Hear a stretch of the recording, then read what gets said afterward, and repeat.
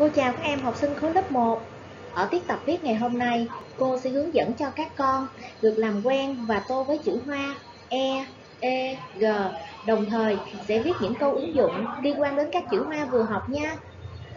Để tiết học được thêm hiệu quả, các con cần chuẩn bị cho cô bản con, bút mực hoặc bút kim và vở Vui học cùng chữ viết tập 2 trang 33 nhé.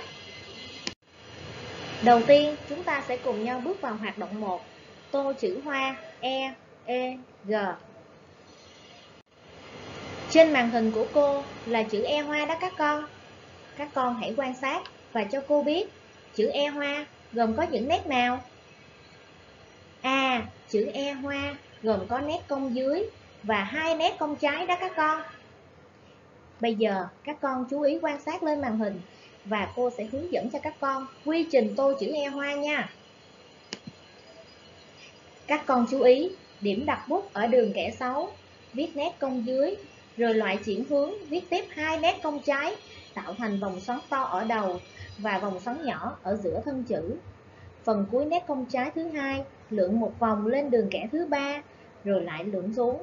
Và cuối cùng, ta dừng bút ở đường kẻ số 2. Các con đã biết cách quy trình tô chữ heo hoa chưa? Bây giờ các con hãy quan sát lên màn hình Đố các con, trên màn hình kế bên chữ E hoa là chữ gì nào? À, đây chính là chữ E hoa đó các con. Bây giờ các con hãy quan sát thật kỹ chữ E hoa, chữ E hoa và hãy cho cô biết điểm giống nhau và khác nhau giữa hai chữ này là gì? À, chữ E hoa và chữ E hoa đều có nét viết giống nhau, còn chữ E hoa thì có thêm dấu phụ nữa đó các con. Bây giờ, các con hãy chú ý lên màn hình. Cô sẽ hướng dẫn cho các con quy trình hướng dẫn tô chữ E hoa nhé. Chữ E hoa ta cũng sẽ đặt bút ở đường kẻ xấu, viết chữ E hoa. Dấu mũ của chữ E, điểm đặt bút ở giữa dòng kẻ thứ sáu, viết nét xiên ngắn trái, chạm đường kẻ 7, rồi viết nét xiên ngắn phải, tạo thành dấu phụ, thật là cân đối, nha các con. Như vậy, cô vừa hướng dẫn xong quy trình tô hai chữ E hoa và E hoa. Các con đã nắm được chưa? Lát nữa, khi luyện viết, các con cũng sẽ viết thật là đúng cho cô nha. Tiếp tục bài học ngày hôm nay, cô sẽ hướng dẫn cho các con tô chữ G hoa. Chữ G hoa, điểm đặt bút ở đường kẻ xấu, viết nét cong dưới, rồi chuyển hướng, viết tiếp nét cong trái, tạo thành vòng xoắn to ở đầu chữ phần cuối nét cong trái đến đường kẻ thứ ba thì dừng lại. Từ điểm dừng bút, ta viết nét khuyết dưới, kéo dài xuống dưới đường kẻ thứ tư. Và cuối cùng, ta sẽ dừng bút ở đường kẻ hai ở trên. Các con đã nắm được quy trình viết chữ hoa G chưa?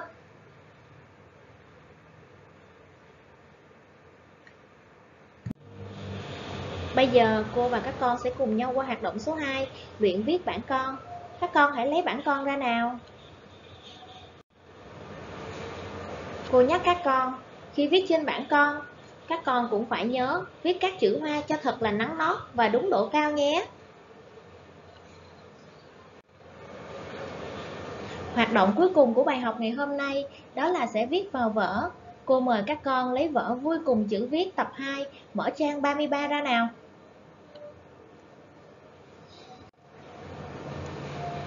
Trên màn hình của cô, bạn nhỏ đang làm gì vậy?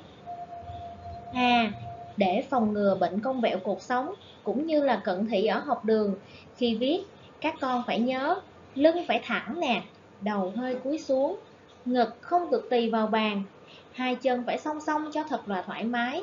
Và khi viết bài, các con nhớ phải ngồi ở chỗ đủ ánh sáng nha các con. Trên màn hình của cô chính là nội dung viết của ngày hôm nay. Cô mời các con hãy cầm bút lên và tô cho cô chữ hoa E hoa ở dòng đầu tiên.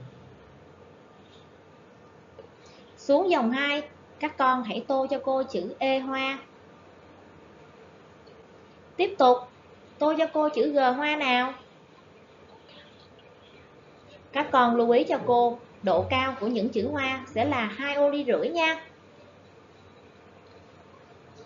như vậy, các con vừa tô xong chữ e hoa e hoa, g hoa. Bây giờ, cô trò chúng ta sẽ cùng nhau luyện viết câu ứng dụng nha. Câu thứ nhất. Êm êm một khúc sông cầu. Trên màn hình của cô, chính là hình ảnh dòng sông cầu đó các con.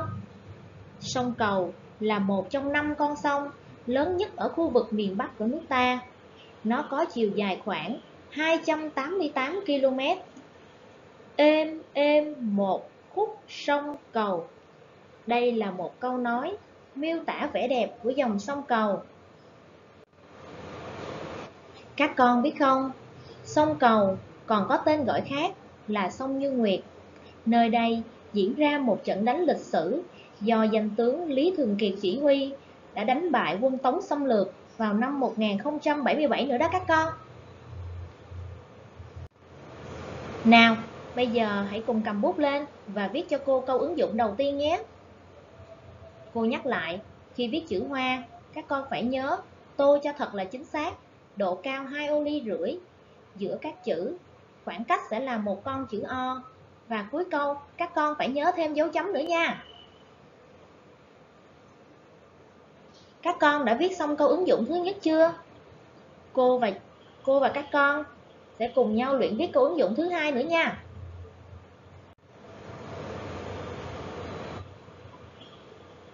Gạo cần đước nước đồng nai. Trên màn hình của cô chính là hình ảnh dòng sông Đồng Nai và gạo nàng thơm. Câu nói gạo cần đước, nước Đồng Nai là một câu nói dân gian từ rất xa xưa, ca ngợi một sản vật rất là nổi tiếng ở tỉnh Long An đó các con. Sản vật đó chính là gạo ở huyện Cần Đước như là gạo nàng thơm nè, gạo nàng hương. Còn nước sông Đồng Nai nổi tiếng mát, sạch và ngon ngọt nữa đó các con. Bây giờ các con hãy viết câu ứng dụng thứ hai vào trong vở đi. Cô lưu ý, các con phải tô các chữ hoa đã học cho thật là đẹp, thật là nắng nót, đúng độ cao. Riêng câu ứng dụng thứ hai này, khi viết xong, các con phải nhớ kiểm tra lại dấu. Nó có dấu phẩy ở giữa câu và dấu chấm ở cuối câu nha các con. Cô xin giới thiệu với các con trên màn hình của cô là một bài viết mẫu. Các con cũng phải viết thật là nắng nót và thật là sạch nha các con.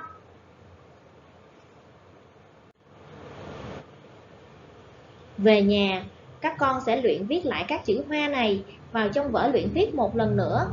Cô nhắc lại, các con phải viết thật là nắng nót, đúng độ cao nha các con. Và về nhà, các con chuẩn bị bài cho cô là bài tô chữ y hoa, ca hoa và hờ hoa. Bài học của cô đến đây là hết rồi. Cô xin chào các con. Chúc các con luôn chăm ngoan, học giỏi nhé.